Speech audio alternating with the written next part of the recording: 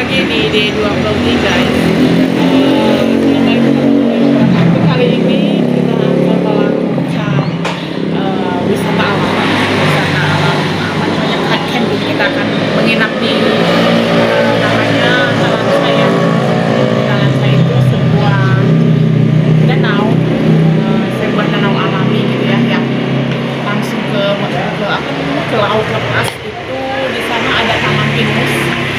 Jadi di sini danau di sini taman pinus. Nah kita akan bercamping di taman pinus. Nah di seberangnya lagi sebelah kanannya itu ada pantai. Jadi kita camping di tengah-tengah eh, antara Bang sihir jalan mana gitu? ini sama apa namanya danau. Dan di sana kita akan mencari udang ikan dan apa namanya kerang di sana banyak sekali. Jadi bagaimana keseruan kita kali ini